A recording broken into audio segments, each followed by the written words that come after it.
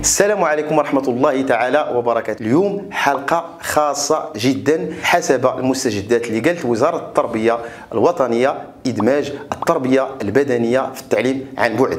لذلك نحن اليوم سعداء باستضافة رئيس جمعية أساتذة التربية البدنية بالمديرية الإقليمية سيدي إفني وكاتب فرع الجمعية الإقليمية الرياضية الأستاذ سي محمد الغازي.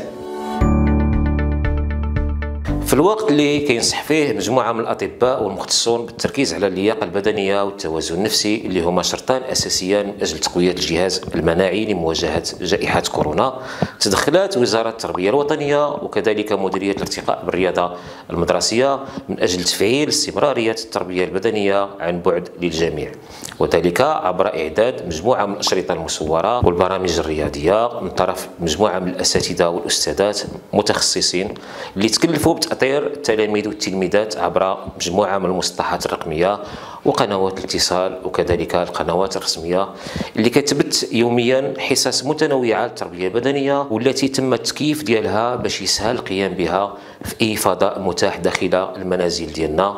شارطه احترام متطلبات الحجر الصحي. هذه الأنشطة كتبت عبر جدوله زمنية أسبوعية اللي كتسمح للجميع بممارسة أنشطة بدنية في البيوت ديالهم مع الأهل ديالهم.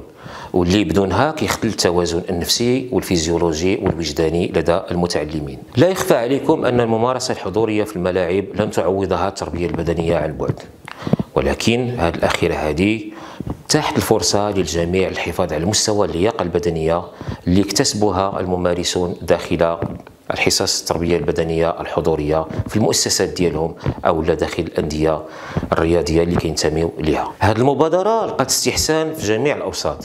واللي دخلت الرياضة المدرسية إلى قلب البيوت لتكون عونا للمتعلمين والمتعلمات وكذلك الأسر ديالهم صغار أو كبار. وذلك من أجل التغلب على مضاعفات العزل الصحي والرفع من المعنويات ديالهم وهو شيء أهم العنايه بالأبدان ديالهم والنفسية ديالهم. من جهة أخرى ترسيخ الثقافة ديال النشاط البدني واللي غادي تبقى لا محال عاده محموده بعد زوال هذا الوباء إن شاء الله. قبل ما نبداو أي تمرين أو مجهود عضلي خاصنا اولا القيام بالإحماء لتحسين الأداء وتليين المفاصل لزيادة القدرة ديالها على تحمل ضغط التمارين. وكذلك باش نتجنبوا الإصابات مثل التمزقات العضلية. كذلك خصنا نشربوا الماء بكثرة لترطيب الجسم وتجديد الطاقة. ولكن هذا الماء هذا خصنا نشربوه على دفعات. من بعد وجبة الأكل خاص على الأقل واحد 40 دقيقة حتى ساعة ديال المكانه عاد باش نباشروا التمارين ديالنا.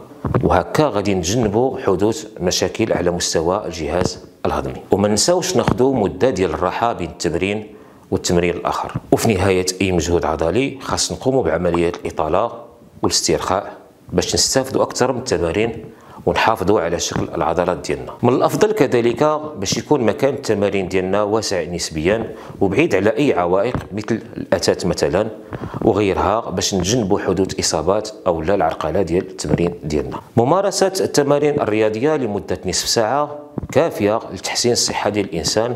بطبيعة الحال مع مراعاة شدة المجهود وصعوبة التمارين اللي خاصها تكون موازية للسن ديالنا والبنية الجسمانية. وفي الأخير أناشد الجميع بالبقاء في المنازل ديالهم من أجل الحفاظ على سلامة الأسرة والمحيط ديالهم. بقاو في داركم وممكن تريضوا في دارنا. كنتمناو هذه الإرشادات والتوجيهات اللي قدمها لكم الأستاذ محمد الغازي تكون مفيدة لكم وإلى حلقة أخرى والسلام عليكم ورحمة الله تعالى وبركاته. اللي عنده شي سؤال ولا استفسار يتواصل معنا في البريد الإلكتروني والرقم الهاتفي المبينين في أسفل الشاشة.